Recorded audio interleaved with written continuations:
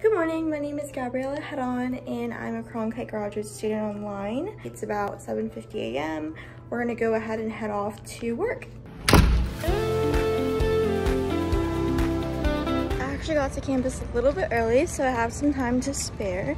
So I'm gonna go ahead and head off to Starbucks and get some coffee.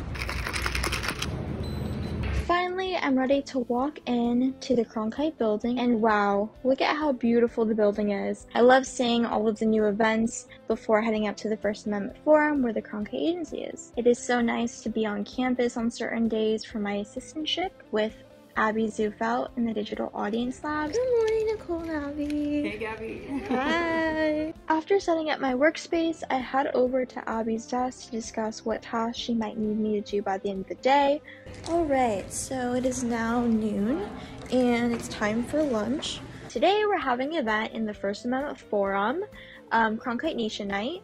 I'm going to go ahead and be tabling the PRSA um, table since I'm the president. I'm now back at home. I'm going to go ahead and do some schoolwork and then call it a night. Tonight I'm working on my MCO 506 Strategic Communications Media Law course. This is actually a brand new course offered by the Cronkite School. Um, I've really enjoyed it so far and I think it's been a fun course to take.